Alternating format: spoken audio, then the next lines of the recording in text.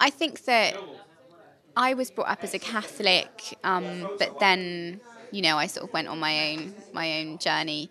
Um, I think that it's made me rather think yeah instead of thinking about religion, it has made me think about faith and um, how good it is to have hope, have something that that gives you that gives you comfort, whether it's God is one name. There are many others. I don't know. It's made made me kind of think about how important that is, especially um, the community connection that you have on the show. I think that's really really important. That everyone's there for each other and how vital that is. We sort of live in these little boxes, and I think that when we don't have that support, we get sick, we're lonely. You know, there's all these reports actually come out.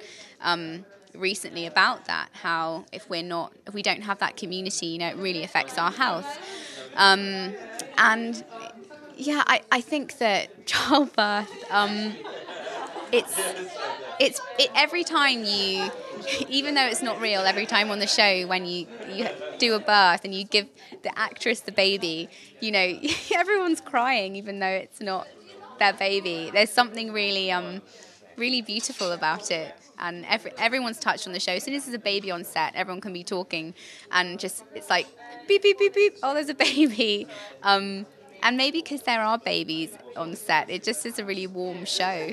You know, it's lovely.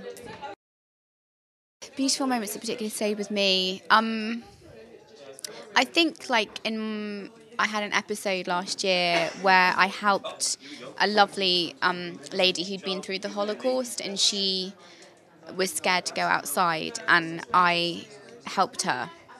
And for me and my character, that was a really incredible thing. And also being in, because when you're in a scene, you know, you kind of forget that it's not real, sort of, and just thinking about people who had been through that and escaped and come to London to start a new life and had been through something so atrocious and just being able in that situation as Sister Winifred to help this lady live again because she was just had put herself in another prison and I think that we can all do that. And I liked that metaphor.